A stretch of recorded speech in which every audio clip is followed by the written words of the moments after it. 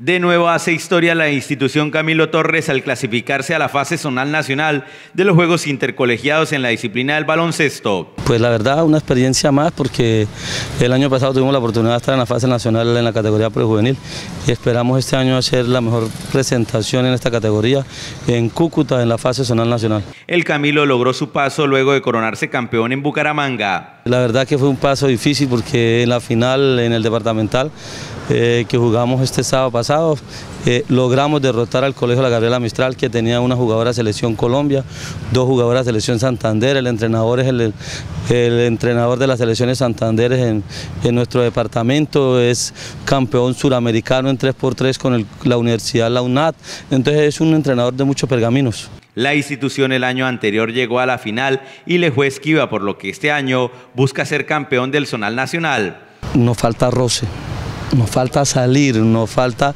eh, tener la oportunidad que ellas eh, tengan otra visión diferente a, la que vemos todos los días en nuestra ciudad y el único torneo que jugamos a nivel departamental o a nivel fuera de Barranca de Bermeja es el intercolegiado porque no tenemos recursos para salir. Proceso es lo que llevan estas niñas de la mano del profesor Ernesto García. Tenemos un gran proceso.